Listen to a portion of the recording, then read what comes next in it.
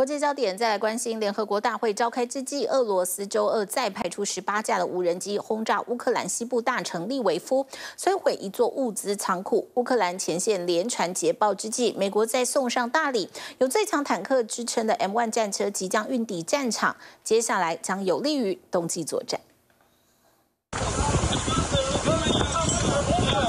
黑夜中，猛烈火舌燃烧整栋建筑，消防员洒水灌救，但效果很有限。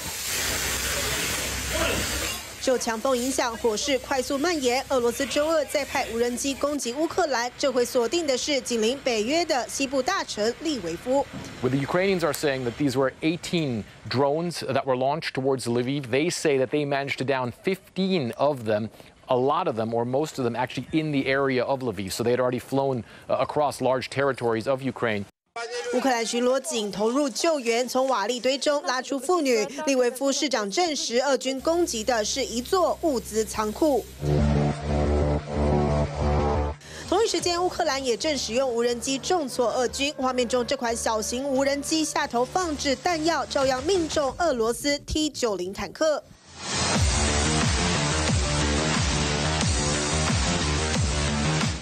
要价超过一亿台币的坦克当场灰飞烟灭。另一段无人机视角同样拍下毁掉俄军二 S One 自走炮过程。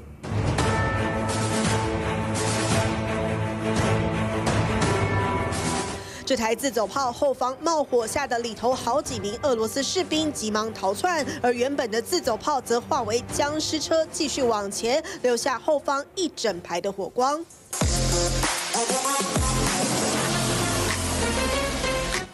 美国援助的集束弹药也现身扎波罗热战场，乌克兰猛攻东南部战线，希望尽速夺回由俄军占领的梅利托波尔。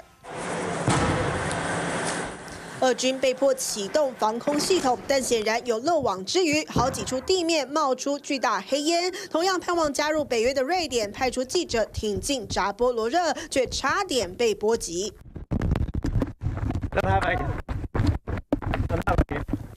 当下采访团顾不得镜头，只能死命拔腿狂奔。俄军攻击最后落点就在几公尺之外。瑞典团队中还有一人手部擦伤。Den ryska missilen som släpptes av den här drönaren vi hörde, den slog in rätt in i våran bil i bakluckan.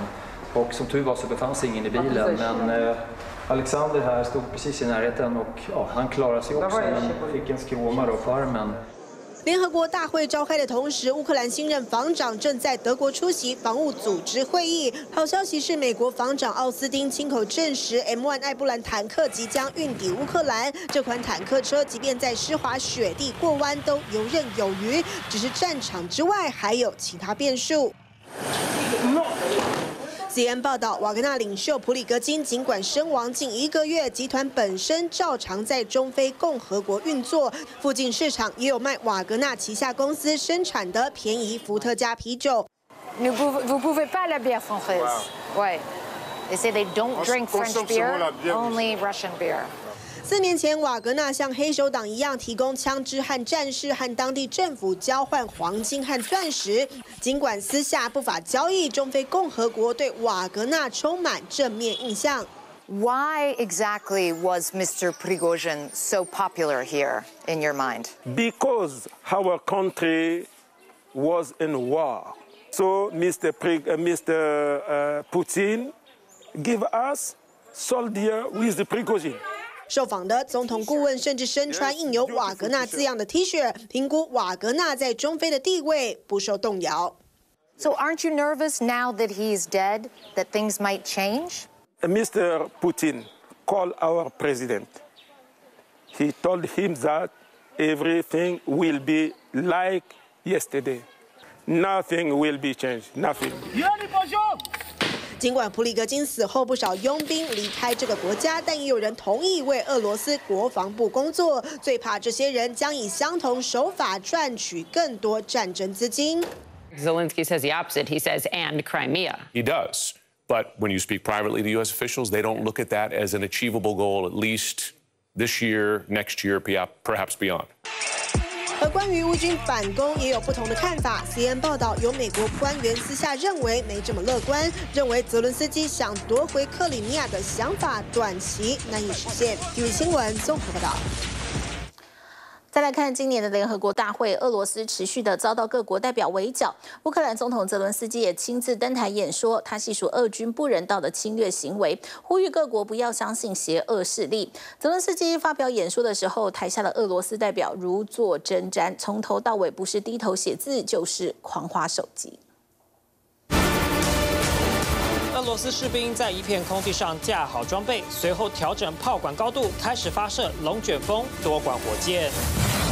俄军除了在地面猛力炮轰外，空中部队也加大攻势。俄罗斯卡五十二战斗直升机从空中连环发射炮弹。虽然俄罗斯声称成功轰炸乌军阵地，但在美国纽约市举办的联合国大会，莫斯科再度成为西方阵营的箭靶。On behalf of the General Assembly, I have the honor to welcome His Excellency Volodymyr Zelensky. 乌克兰总统泽伦斯基第一次亲自来到联合国大会演讲，开口就是猛力谴责。Since the start of the full-scale war, the Ukrainian ports in the Black and Azov seas have been blocked by Russia.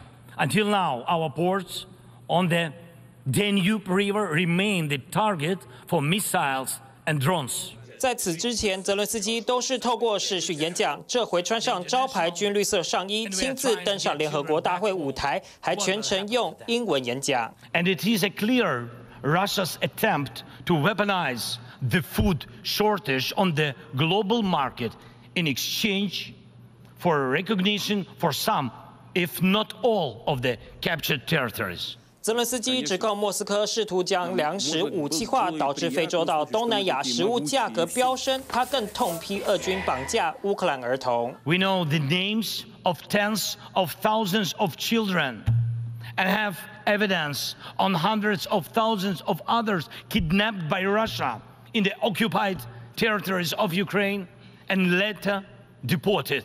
接着，他指控俄国占领扎波罗勒核电厂后，拿辐射外泄风险来威胁其他国家。Evil cannot be trusted.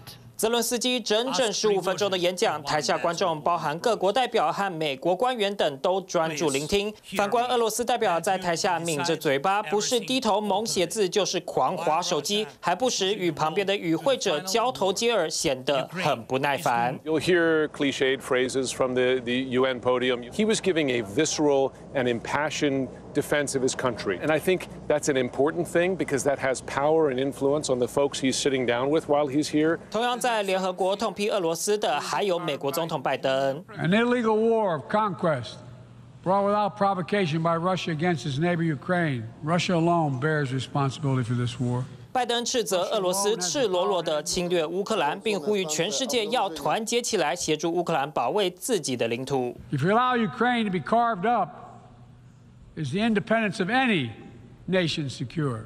不过，就在拜登为基辅送暖之际，美国众议院议长麦卡锡却继续扯他后腿。 When you meet with him, will you commit to another round of funding for Ukraine?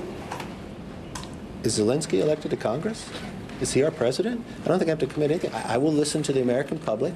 I will follow what happens in Congress, but I will have questions for uh, President Zelensky. 美国政坛分歧有可能成为继续援乌的绊脚石，但丹麦却毫不犹豫，计划向乌克兰再提供四十五辆坦克，包含豹一和 T 七十二。 My English is poor to say all, all my messages and all my thanks to you.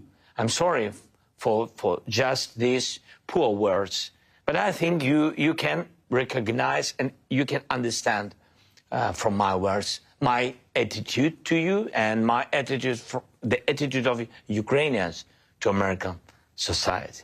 就在泽伦斯基接受 CNN 专访同时，一艘载着三千吨小麦的货轮离开乌克兰南部港口，这是从黑海粮食协议破局后第一次有货轮出港，也证明基辅有办法自己运出谷物。不过，保加利亚上周取消针对乌国农产品的进口禁令后，当地农夫叫苦连天。 спират вноса от Украина, всякакъв внос на зърно и земеделска продукция и държавата, докато не се изкупи продукцията на местните фермери на цена. 大批农夫带着满满乐器，开着上百台拖拉车列队排好，抗议保加利亚政府的决定，希望当局先救救自己国家的人民。TBS 新闻综合报道。想看最完整的新闻内容，记得下载 TBS 新闻网 APP。